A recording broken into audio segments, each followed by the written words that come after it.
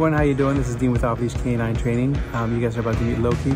Loki is a uh, five-month-old coonhound. Uh, he's here for our two-week boarding train. Uh, Loki's pretty insecure.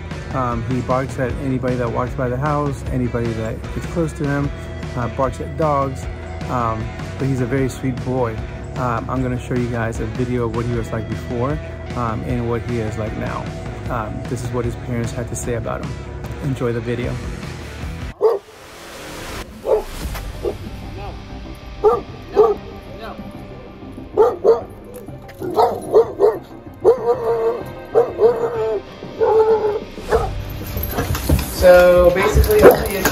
Are jumping up, not listening. Uh, we have a tendency to be really bad about pulling on our leash.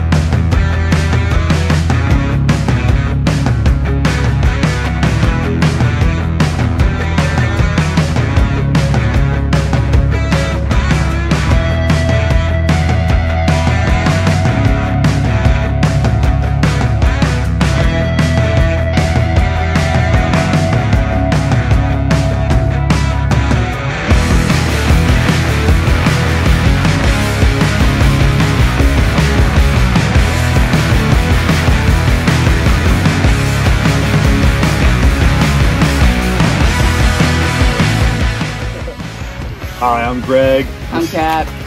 And this is Loki. Uh, we've had him for about three months now, and uh, he's kind of unruly, kind of shooting all over the place, and decided that he needed some professional training. So he went with off the leash canine training. Um, prior to, it was jumping up and down, barking at dogs, barking at neighbors, barking at all hours, wouldn't listen, wouldn't come. And we got him back two weeks later, and he seems like a brand new dog. Um, thrilled with what we've gotten so far out of him and expecting big things. Training's not done yet. I still got another. Uh, I still got to keep him on it. So, yeah. So this is a 180 degree change from his behavior beforehand. Uh, I was fully looking and expecting to have a lot more to do. Um, I'll be honest with you, this is definitely a vast improvement and I can't wait to go take him out on walks and be around other people and dogs based off what I've seen. I really feel like this is definitely worth the time and uh, the money it took to be able to help get him to where he needs to be at so that way we can have him out in public, which is a huge part of you know our family. So thank you.